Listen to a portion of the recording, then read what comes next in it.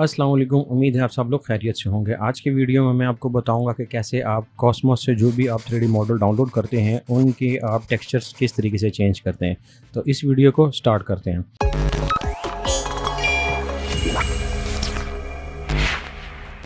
सबसे पहले ये जो केस कॉस्मस का ये आपके पास वीरे में ये बटन नज़र आ रहा होगा, ये सिर्फ़ उन्हीं को नज़र आ रहा होगा जिनके पास वीरे 5.1 या लेटेस्ट वर्जन वीरे 6 का है। अगर जिनके पास नहीं है, यानी कि वीरे 4 है या उससे पुराने वाले वर्जन हैं, उनके ये ऑप्शन शो नहीं हो रही होगी। तो सबसे पहले मैंने करना क्या है कि केस कॉस्मस ग्रुप में इसको क्लिक कर देना है और यहाँ से एक ब्राउज़र की विंडो मेरे पास ओपन हो जाएगी। बेसिकली जब आप ओपन करेंगे तो आपके पास स्क्रीन होगी, वो कुछ यूँ नज़र आ रही होगी कि जिसमें सब के सब थ्री एसेट्स नज़र आ रहे होंगे, या आपके पास जो स्क्रीन है, अगर होम स्क्रीन आप कहें, आपने इसमें करना है कि आप यहाँ से भी थ्री मॉडल्स मटीरियल्स या एच डी आर आई इनमें से जो भी क्लिक करें, आप वो भी कर सकते हैं।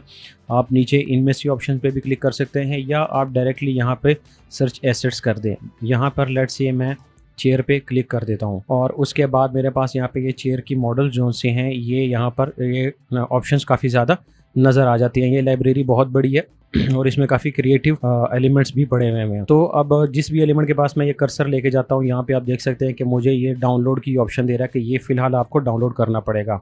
ये भी डाउनलोड करना पड़ेगा। लेकिन जैसे ही ये एक आधा जो मैंने मॉडल डाउनलोड किया हुआ है, वहाँ पे ये टिक का निशान आ जाता जो कह रहा है कि ये डाउनलोड हो गया हुआ है और आपने बस इसको जस्ट इम्पोर्ट करना है। तो अभी फ़िलहाल इस वीडियो के लिए मैं क्या करता हूँ कि मैं इस चेयर को डाउनलोड कर लेता हूँ और एक मैं इस चेयर को डाउनलोड कर लेता हूँ। ठीक है। ये आपके नेट के स्पीड के हिसाब से टाइम लेगा। अब ये 52 परसेंट हो गई है, ये अभी स्टार्ट होने वाली है। जब वो डाउनलोड हो जाएगी होपफुली उसके बाद ये भी स्टार्ट हो जाएगी। तो अब ये डाउनलोड हो गया मेरे पास। अब इसको ये इंपोर्ट पे मैं क्लिक कर देता हूँ। और यहाँ पे किसी भी एक जगह पे मैं क्लिक कर देता हूँ। तो जैसे ही मैं क्लिक कर रहा हूँ, ये एक कॉपी क्रिएट हो गई है। और अगर किसी और जगह मैंने क्लिक करना है तो वहाँ भी ये कॉपी क्रिएट कर देगा। बहरहाल, मुझे फ़िलहाल सिर्फ़ एक कॉपी चाहिए तो मैं स्केप का बटन दबा दूँगा और ये जो एक्स्ट्रा चेयर है, इसको मैं डिलीट कर देता हूँ। और इसके साथ अभी आप ये देख सकते हैं कि ये काफ़ी ज़्यादा टाइम ले रहा है तो लेट से मैं अगर एक और डाउनलोड कर लूँ और ये होपफुली अगर उससे पहले हो जाए तो ज़्यादा बेहतर है। बहरहाल, ये मेरे पास जो लाउंज चेयर है, ये भी डाउनलोड हो गया हुआ है और इसको भी मैं क्लिक कर देता हूँ। यहाँ पे अभी आप देख सकते हैं कि मेरे पास ये दोनों जो मॉडल्स हैं, वो प्रॉक्सी की शक्ल में नज़र आ रहे हैं, यानी कि बिल्कुल वाइट हैं।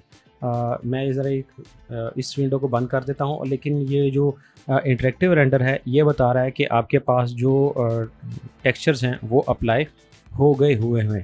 ठीक है, अब मैं वीरे में जाऊँगा और यहाँ पर मेरे पास, ये आप देख सकते हैं कि कुछ मटेरियल नज़र नहीं आ रहे, लेकिन यहाँ पर जो सा है, ये अगर मैं इसको क्लिक करता हूँ तो ये ज्योमेट्रीज़ में नीचे आ जाते हैं और अगर इस पर क्लिक करता हूँ तो वो ऑटोमेटिकली ये एक्टिव हो जाती है और यहाँ पे ये भी अपडेट हो जाता है।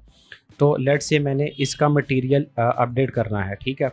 तो मुझे कहीं इसका मटेरियल नज़र नहीं आ रहा तो लिहाजा मैंने ये मर्ज पे क्लिक कर देना तो ये मेरे पास यहाँ पर ये मटेरियल का सेक्शन भी नज़र आ रहा है। यहाँ पर मैं जो भी चेंज करना चाहूँ, वो चेंज कर सकता हूँ। यहाँ पे दो मटेरियल हैं, एक ये टेक्सटाइल लगा हुआ है और एक ये लेग्स का मटेरियल है। मैंने ये ऊपर टेक्सटाइल का मटेरियल चेंज करना है तो मैं इस पर क्लिक कर दूँगा और यहाँ से ये मेरे पास ओपन हो जाएगा। अब फ़िलहाल मैं लट से इसी कलर को ही चेंज करना चाह रहा हूँ, ठीक है? और इस कलर को चेंज करने के साथ साथ मैं देखता हूँ कि मेरे पास यहाँ पर जो रेंडर है, वो अपडेट हो रहा है या नहीं। तो मैं थोड़ा इसको सेंटर में लेके आ जाता हूँ। और यहाँ से कलर जो है वो चेंज कर देता हूँ। तो ये यहाँ से अगर आप डायरेक्टली करेंगे तो ये नहीं होगा। इसके लिए मुझे क्या करना पड़ेगा? आ, ये जो टेक्सचर स्लॉट है इस पर मैंने क्लिक कर देना है। और यहाँ पर बिट मैप की ऑप्शन है ठीक है? यहाँ पर ये बिट मैप पे मैंने क्लिक कर देना है।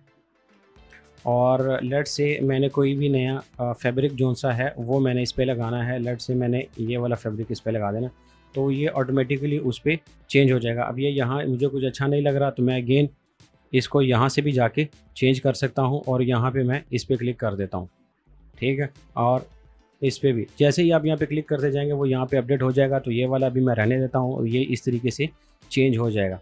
तो अभी अगर मैं वापस आता हूँ, यहाँ पर भी चेंज हो गया है मेरे पास और इधर भी वो मटेरियल चेंज हो गया है। तो आज के लिए इतना ही। आगे के लिए देखते रहिए। Thank you